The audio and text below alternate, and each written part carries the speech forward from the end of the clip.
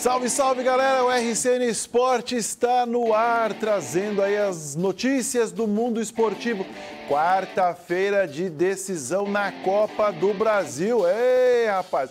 Vamos saber aí de Corinthians, de Flamengo, do Atlético Paranaense e também aí do Atlético Goianiense.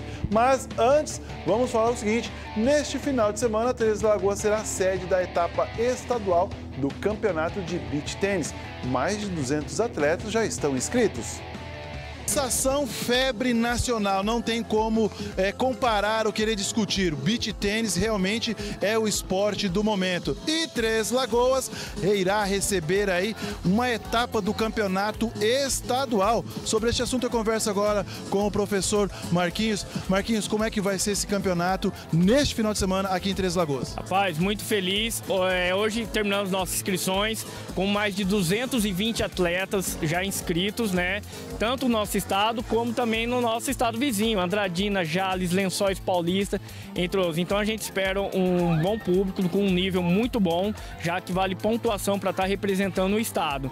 Então na sexta, sábado, domingo, como você disse, nós estaremos aqui realizando vários jogos de sexta-feira, já à noite, claro, também atendendo a parte de logística aqui. Quem quiser assistir, acompanhar um bom espetáculo esportivo, pode vir para cá. Marquinhos, nesse campeonato a gente já pode esperar um Três Lagoense aí brigando por título? Rapaz, a gente sempre tem, fica na conquista, na proposta, né?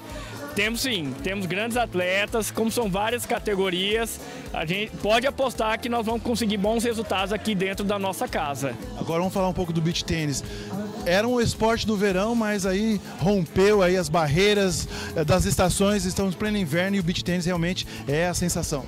Rapaz, graças a Deus explodiu, né? Infelizmente, uma pandemia não foi uma coisa boa para ninguém, mas ajudou a popularizar demais, né? Então, hoje, o beach, o Brasil é uma potência mundial, ficando atrás apenas da Itália. E a Três Lagoas não vai ficar de fora também, vai ser uma potência no nosso estado e também de, na, de forma nacional. Tá certo, Marquinhos, obrigado aí. Então, o campeonato estadual de beach tênis acontece na sexta, no sábado e no domingo.